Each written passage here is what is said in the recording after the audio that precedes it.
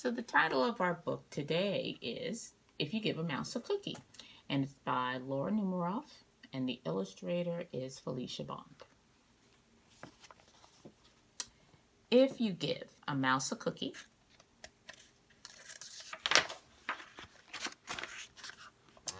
he's going to ask for a glass of milk. When you give him the milk,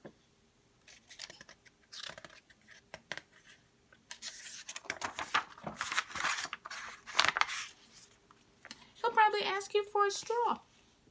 And when he's finished, he'll ask for a napkin.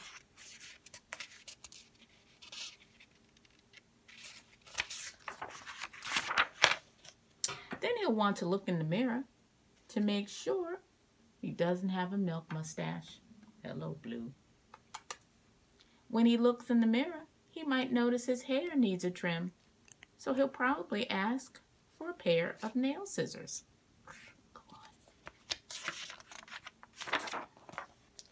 When he's finished giving himself a trim, he'll want a broom to sweep up.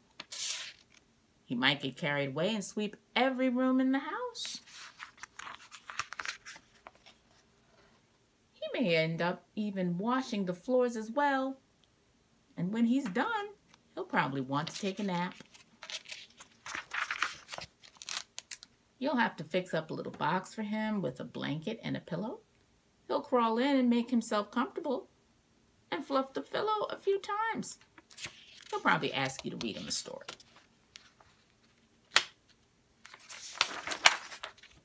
So you'll read to him from one of your books and he'll ask to see the pictures. When he looks at the pictures, he'll get so excited. He'll want to draw one of his own.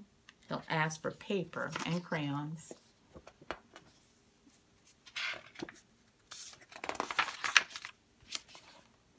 He'll draw a picture.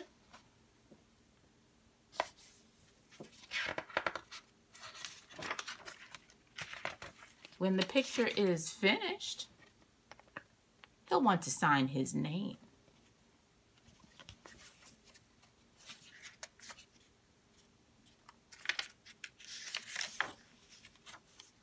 with a pen. Then he'll want you to hang his picture on your refrigerator which means he'll need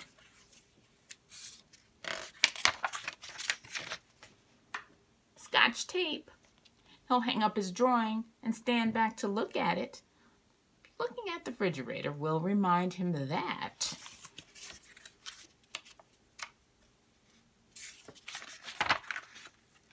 he's thirsty. So, he'll ask for a glass of milk. And chances are, if he asks for a glass of milk,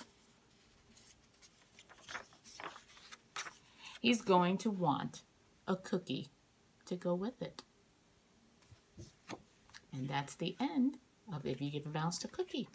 Did you notice some of those sounds that we've been working on in reading interventions and foundations?